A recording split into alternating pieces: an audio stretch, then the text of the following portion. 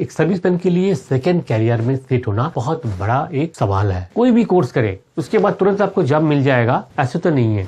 फिर भी बहुत लोगों को रिसेटलमेंट अच्छा रिसेटलमेंट ऑफ़र मिल रहे हैं। केवल गवर्नमेंट जॉब ही नहीं, बहुत सारे जो प्राइवेट संस्था है प्राइवेट ऑर्गेनाइजेशन है, वो एक सर्विसमैन को हायर करते हैं और अच्छे सैलरी भी देते हैं।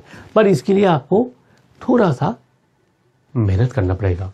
जो अपने काम ढंग से करते हैं एफिशिएंटली करते हैं, दूसरा अपना करियर का भी ध्यान रखते हैं। क्योंकि उनको ये चीज़ उनका दिमाग में होता है हमेशा कि मैं फौज में हमेशा रहने वाला नहीं हूँ।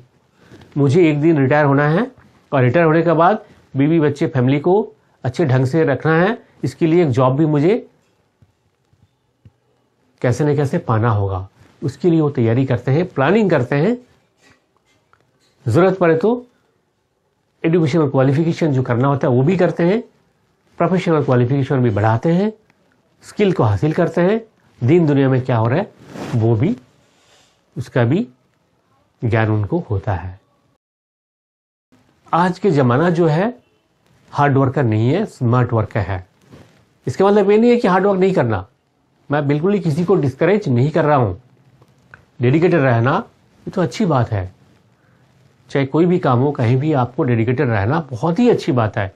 पर हमारा जो डिफेंस का जो काम है, जो मिलिट्री ड्यूटीज़ होता है, उसमें डेडिकेटेड तो रहना ही रहना है। साथ साथ आपको ये भी ध्यान में रखना है कि आपने ज़िंदगी भर फौज में नहीं रहना। आपको एक दिन रिटायर होना होगा और और आपको बहुत अर्ली एज में रिटायर होना है। उसके बाद आप कैसे सेट होंगे? उसका प्लानिंग अभी से करना है। आप काम करो। आपको जितना काम दिया है, बहुत ही एफिशिएंटली करो।